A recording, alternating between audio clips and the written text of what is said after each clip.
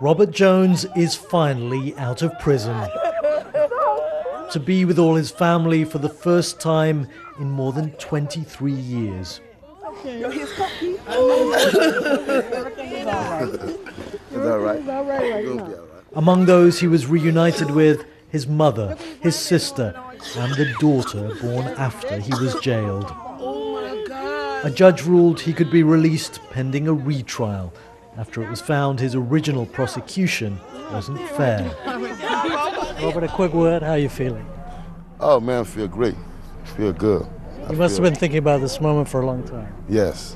I was thinking, I've been thinking about it for many years. Uh, but I'm glad it's, it's finally come to this day, you know. So the wheel of justice turns slow, but it turns. In April 1992, a series of violent crimes were committed in New Orleans, the same attacker described each time. One of the crimes was the killing of the British tourist Julie Stott, after which police received a tip and arrested Robert Jones. Even though another man was eventually convicted of the murder and had compelling evidence linking him to all the crimes, Robert Jones was tried too. Last month, the original judge in that trial was among those who told us prosecutors withheld key favorable evidence that led to Robert being sent to prison as well. The fact that he was wrongly convicted and is in jail for something arguably he didn't do weighs heavily on me. But Robert Jones remained behind bars until now. Say, for instance, there's a guy that put out a pistol, robbed somebody, and killed somebody.